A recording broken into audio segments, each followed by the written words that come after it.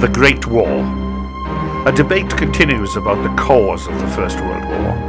Unquestionably, one of the main contributing factors was the assassination of Archduke Franz Ferdinand at Sarajevo in June of 1914.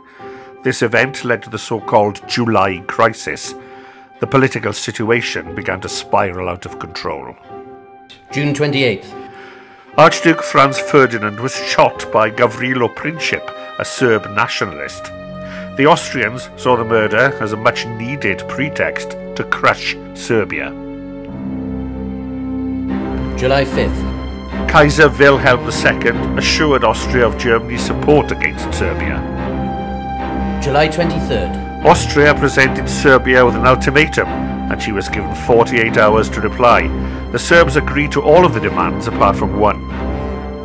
July 28th. Austria rejected the Serbian reply and declared war. The Russians ordered a partial mobilization of their troops in defense of Serbia. July 29th. The Austrians shelled Belgrade. July 30th. Russia ordered general mobilization and the crisis escalated. British mediation failed. July 31st. The Germans presented an ultimatum to Russia to halt her mobilization. She also presented one to France asking her to stay neutral and to hand over border fortresses. The Germans knew the French would never agree to this.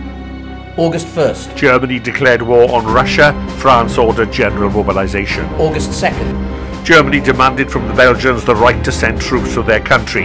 It was refused. August 3rd. Germany declared war on France, and despite the protestations, its troops did enter Belgium. The British sent an ultimatum to Germany calling for them to withdraw. No such agreement was made. And so, on the 4th of August 1914, Britain declared war on Germany. World War I had begun.